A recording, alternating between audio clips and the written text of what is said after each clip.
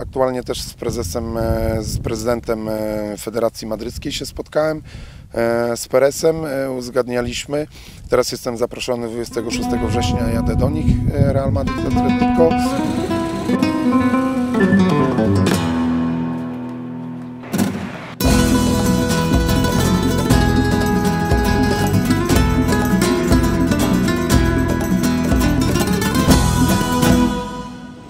Leżę sobie na trawie, a nie jest to zwykła trawa, tylko hybrydowa. I nie leżę na niej sam, tylko z kolegą, Tomkiem. Witam, witam. Ale co ważniejsze, nie leżymy byle gdzie na jakimś zwykłym trawniku, tylko w miejscu, które pewnie doskonale znacie.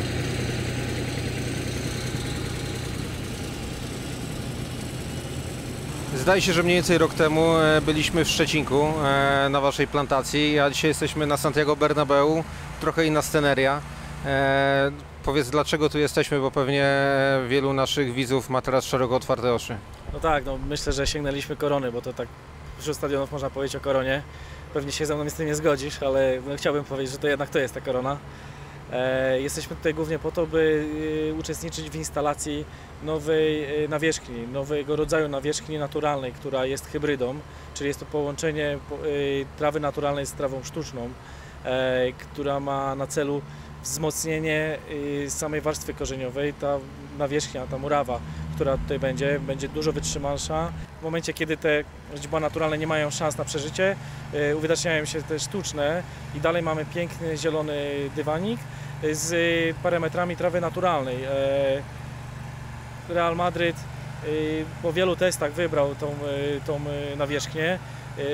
Głównie myślę, że to za sprawką jednego z najbardziej, jak nie najbardziej doświadczonego greenkeepera na świecie, Paula Burgessa, z którym będziemy mieli przyjemność też porozmawiać.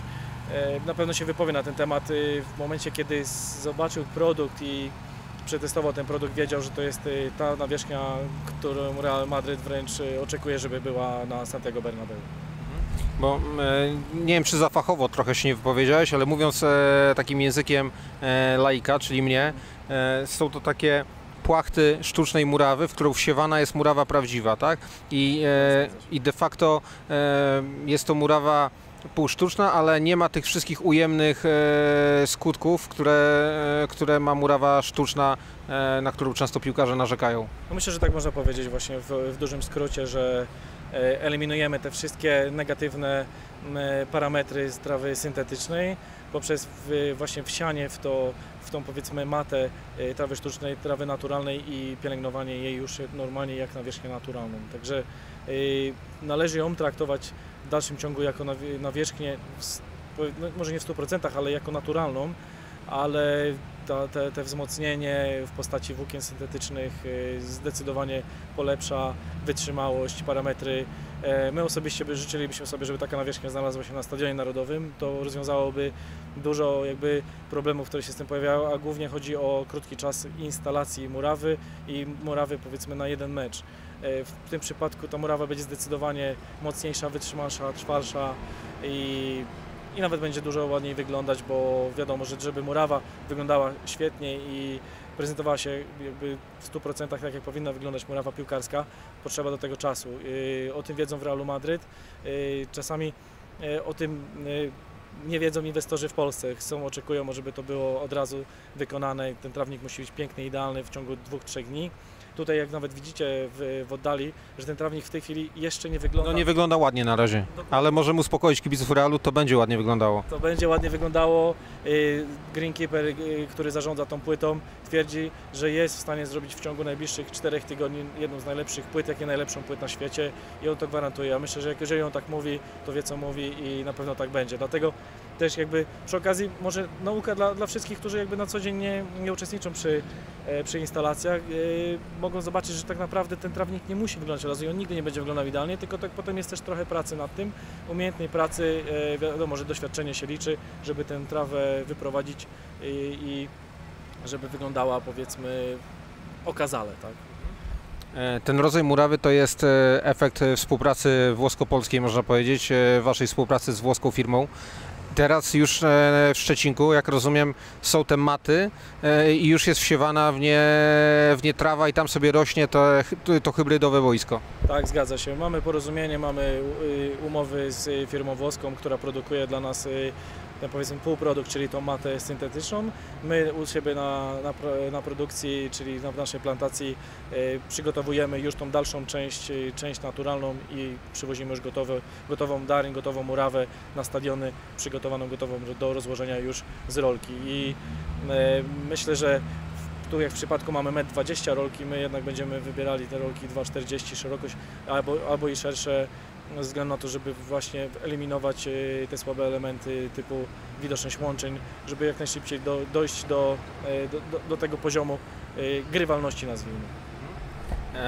I tutaj ciekawostka, bo e, Real Madryt instaluje taką płytę, ale jest już klub numer dwa, który taką będzie miał i będzie to boisko treningowe ŁKS Łódź. Tak, zgadza się. E, Myślę, że to będzie pierwsza tego typu instalacja w Polsce. No, jestem przekonany, że to będzie pierwsza. Ale w ogóle gdzie ŁKS, gdzie Real, boisko trening, pierwsze boisko Realu, boisko treningowe ŁKS-u, to przecież się w ogóle nie łączy ze sobą, to są dwa różne światy. Może Łódź jest już wizjonerska i już zaczyna budować klub, zaczyna budować klub, mają wspaniały, wspaniały stadion, yy, na który akurat też braliśmy udział przy budowie płyty.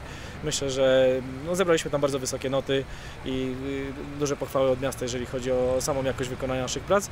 Yy, W tej chwili będziemy wykonywać właśnie treningówkę hybrydową i e, wybrali, wybrali tą nawierzchnię, zdecydowali się na tą nawierzchnię, e, udało nam się pozyskać ten kontrakt, także e, liczymy na to, że będzie więcej takich e, nawierzchni w Polsce, bo naprawdę my wierzymy bardzo mocno w ten produkt.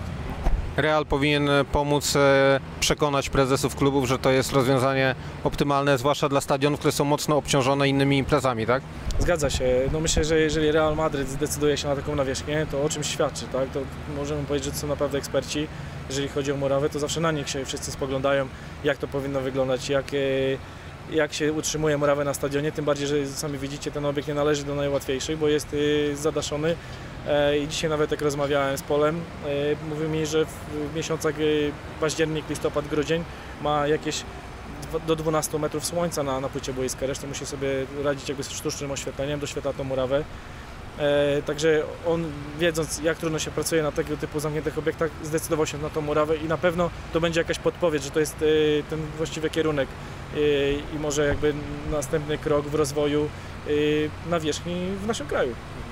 Tylko żeby za trzy miesiące Cristiano Ronaldo nie powiedział, że mu się kiepsko gra na tym boisku i żebyś nie prosił nas o skasowanie tego filmiku z YouTube'a, bo z reklamy robi się antyreklama.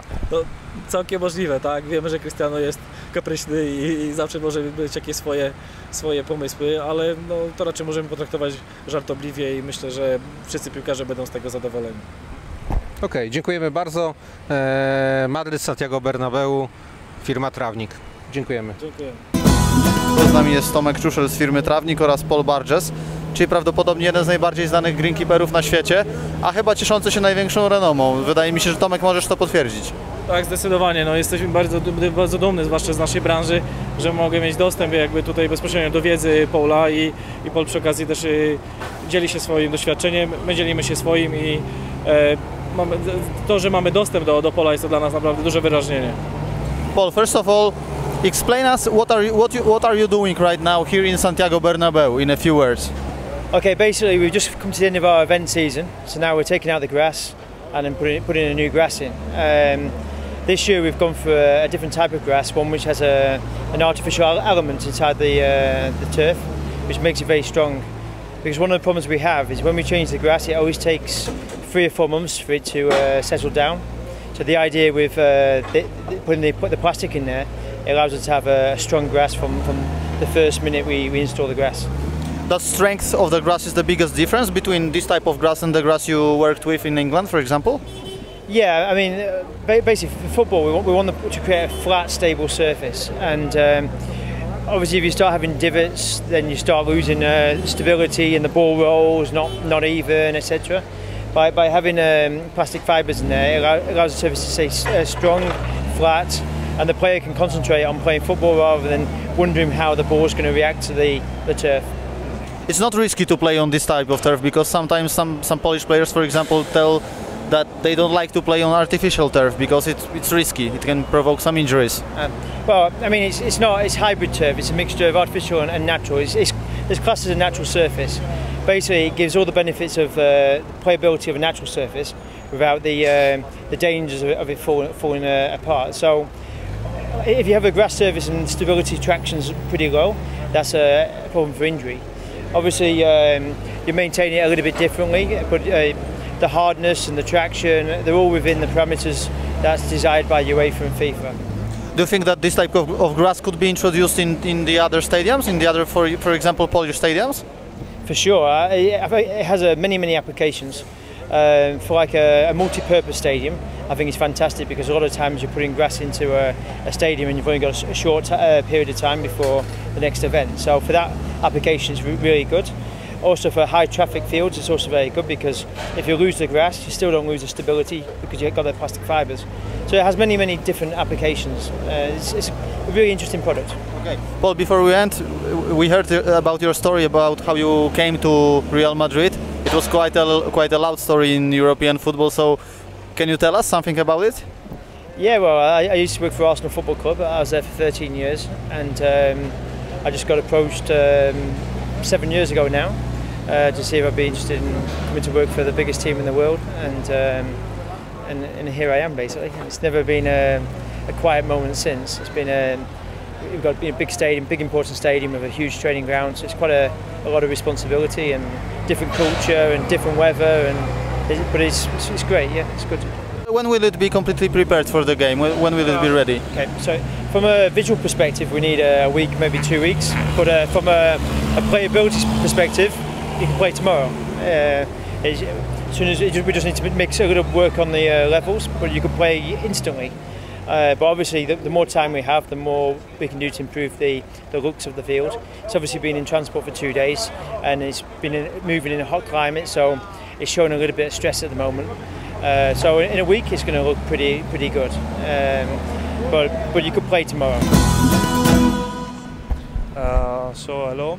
Um, the, the the big difference is the stability that uh, this system can guarantee from the day first uh, after the after the laying, and uh, that's why Real Madrid chose that because in with some issues uh, that um, come uh, in big stadium like this uh, with the natural grass during the first months after the after the laying of the grass.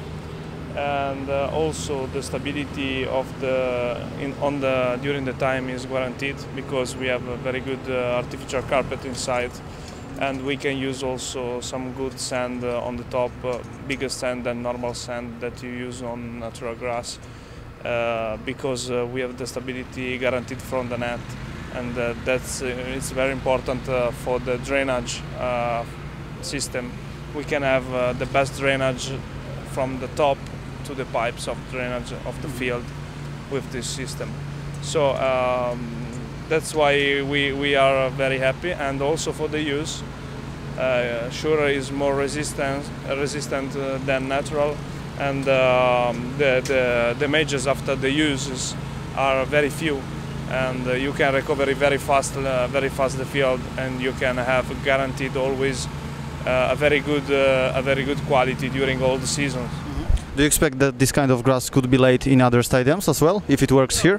We're still working uh, in Modena in Serie A stadium. We, we worked the last the last uh, month in uh, in uh, Croatia, and uh, with three fields. So many many. And now I will fly it in in Moscow the next week, because Dynamo Moscow chose uh, the system for a training pitch, and uh, so many many important clubs uh, still still uh, looking for for for no for this for this. FC Inter, we still work also in um, FC Inter training center and the AC Milan training center to install other two fields with this system. Uh, so that's it.